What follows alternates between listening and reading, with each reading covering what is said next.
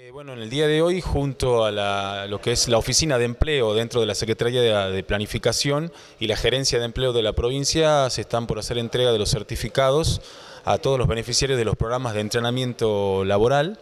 Eh, y que implican, entregarle este certificado implican que ellos han, pasado por un proceso formativo, pero también de aprobación de un proyecto específico productivo y eh, a posteriori de la entrega de los certificados después van a ser beneficiarios de un financiamiento para que puedan empezar a emprender con sus proyectos. Bueno, es permanente el trabajo que se hace desde la oficina de empleo que tenemos en la Municipalidad de San Salvador de Jujuy, en conjunto con la Gerencia de Empleo de la provincia. Estos cursos formativos y talleres se hacen a lo largo de todo el año, al igual que siempre están abiertas las ventanillas para que se presenten los proyectos productivos. A todos aquellos que quieran emprender, eh, las oficinas de la Secretaría de Planificación, Desarrollo y Modernización, donde está la oficina de empleo y donde también tenemos la Dirección General de Programas y Proyectos, donde se bajan las distintas líneas que hay a nivel nacional y provincial están en lo que es el mercado de abasto de la avenida Almirante Brown en el primer piso. Así que todos los que tengan la oportunidad de, escucharnos o vernos, los esperamos para poder ayudarlos a emprender.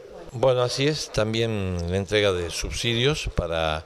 eh, proyectos seleccionados en cuanto a emprendedores que eh, superaron la etapa de la capacitación y también de eh, la elección de proyectos productivos que bueno, significan, entre otras cosas, un primer aporte de 37 mil pesos a cada uno para eh, bueno, poder enfrentar cada uno de sus, eh,